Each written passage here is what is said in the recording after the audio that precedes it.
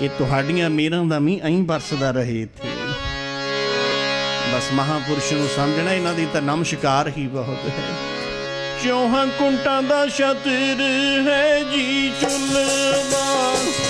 ਸਿਰ ਫਕੀਰਾਂ ਦੇ ਚੋਹਾਂ ਕੁੰਟਾਂ ਦਾ ਛਤਰ ਹੈ।